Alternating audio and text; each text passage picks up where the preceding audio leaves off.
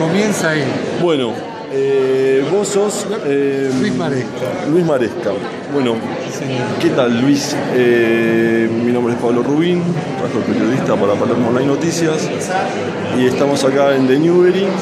Hoy es eh, 27 de agosto del 2014. Eh, 7 de agosto del 2014. Contanos qué significa esta obra para vos. Para mí significa una nueva etapa en mi trabajo. Yo soy realizador escenográfico y en algún momento empecé a replantearme mi trabajo, mi oficio, lo que hago, sobre todo mi trabajo, ¿no? El trabajo.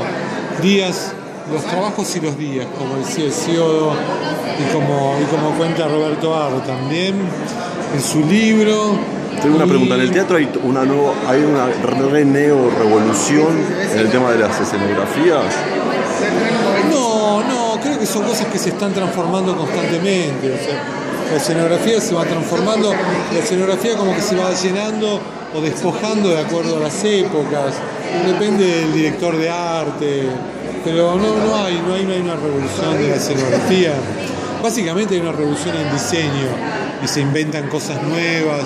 Lo tecnológico ha tenido mucho que ver, la aparición del LED, la, nueva creación de ambientaciones por, por iluminación, pero, pero bueno, todo eso para mí es como algo que está quedando atrás y lo que está comenzando es esto que tiene que ver con hacer cosas por el gusto de hacerlas, que era por lo que había empezado a trabajar inicialmente, me gustaba mi laburo y con el tiempo se fue convirtiendo en un trabajo. Y ahora estoy como replanteándome por qué trabajo, para qué trabajo, qué es el trabajo y todo ese tipo de cosas, mientras sigo trabajando y construyo este tipo de elementos. Esto es un- una cúpula de la ciudad de Buenos Aires que me gustó, En este caso, eh, contanos. está en Avenida Corrientes al 1200. Es un viejo edificio de, de un arquitecto italiano que, lo, que remata su edificio con, con dos cúpulas iguales. Yo estaba haciendo un decorado en el Metropolitan y, salí una tarde de calor a comprar algo de comer y, y estaba muy cansado de lo que estaba haciendo, estaba medio harto ¿Y y de qué es lo que estabas harto? de mi trabajo. Pero porque trabajo algo, para algo más fino, ¿por qué, qué era exacta más?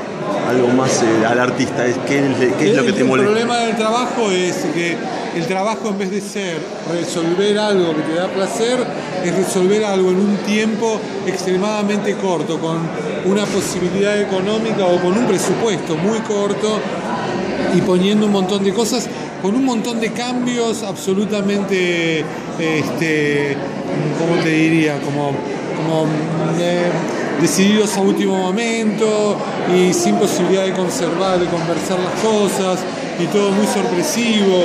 Entonces el trabajo de algo absolutamente positivo empieza a convertirse en algo como absolutamente neurotizante y enloquecedor que termina pasando más por un problema de cómo, cómo hago que esto sea más barato y no cómo hago que esto sea más piola, ¿entendés?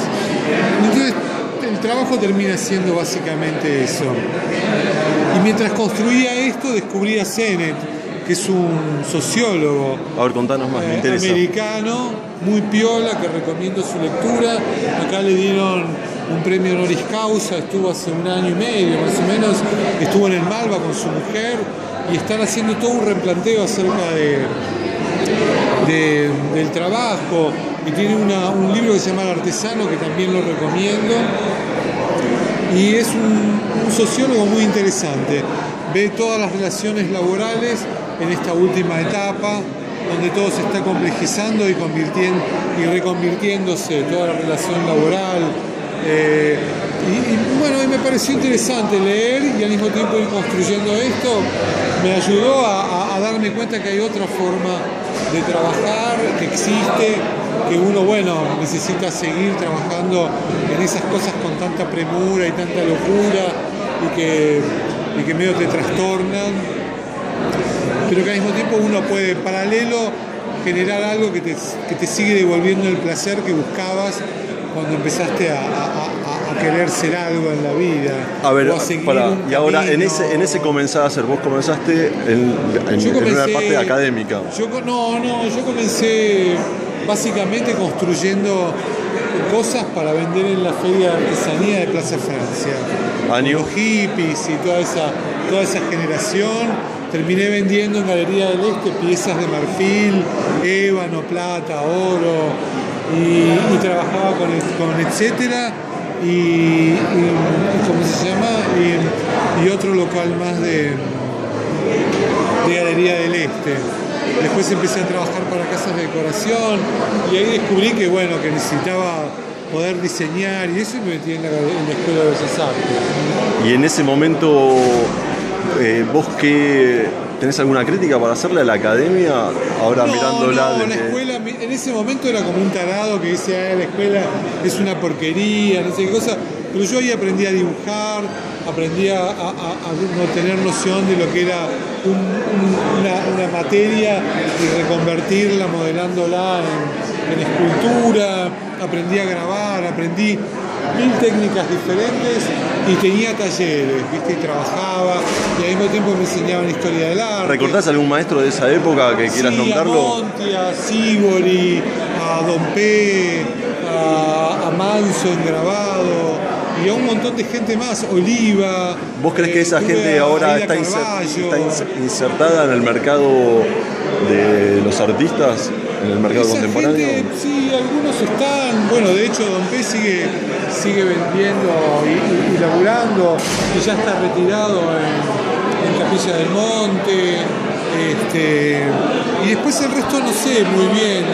Bueno, eh, no, perdón, dije, creo que dije Sibori y era Fioravanti, que era el hijo del antiguo Fioravanti, que era un tipo muy capo que traía libros y hablaba, un apasionado de la escultura. Yo qué sé, a mí, a mí me. En términos me generales, tuviste una, una, Sí, una buena sí, experiencia en la academia. Sí, absolutamente.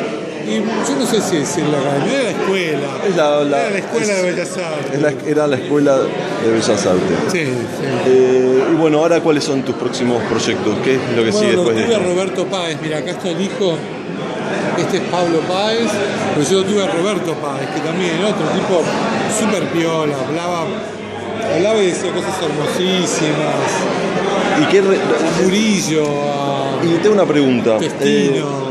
Luis, eh, Me puedo seguir acordando lentamente de nombres. de la época así sesentosa a esta época, Sí. eh, el, eh, el concepto contemporáneo, ¿cómo lo, lo, lo- lo viste que se transformaba? ¿Lo viste que se Sí, las cosas ¿viste? Ese cambio, ¿cómo lo, lo has vivido? ¿Cómo has vivido estos últimos años? que tiene que ver estos últimos 30 con la años. sociedad, con el entorno. Viste, me parece que hubo una época bastante negra. En ese momento yo me fui un poco a Brasil, mucha gente se fue, otros murieron. Yo qué sé, después hubo como un resurgir. Yo valoro mucho la, la- la época de los 70, viste, donde había movilizaciones, se tomaban colegios. Yo realmente me parece que fue una época como muy negra, la posterior, la de los 76, 77, pero los años anteriores fueron muy válidos. Yo realmente todo lo que viví después con el advenimiento de la democracia y todo eso me parece que es súper piola, pero los 70 fueron muy fuertes, ¿viste? Toda la Y, época eh, es- de, y, eh, ¿y cómo de vos ves a esos- colegios, eh, de la lucha. Sí, señor. Bueno, nos interrumpen la entrevista, pero bueno, este, él. ¿Cómo no? Este señor. En la calle Carlos Calvo, Sí, cruzando Jujuy, sí. si haces dos cuadras o tres mirando para arriba en, la, en las esquinas, Por Carlos Carlos. Carlos Calvo, después de Jujuy hacia, Hacia, hacia arriba, no hacia Plaza de Mayo. hacia Avenida La Hacia Plata. Avenida La Plata. Hay una media cúpula destruida, es fantástico, porque exactamente tuvo... Ah, mira, Por Voy a pasar, voy a pasá, pasar. mirala y, y, ando por ahí, y, ando. y- y fotografiarla porque está extraordinaria porque ya le queda muy poco de, a- de afuera. Sí, inclusive después que te lo digo no me animo Bueno, vamos terminando la nota. Muchas gracias, Luis. A vos, gracias. que si va ahora la encontrás.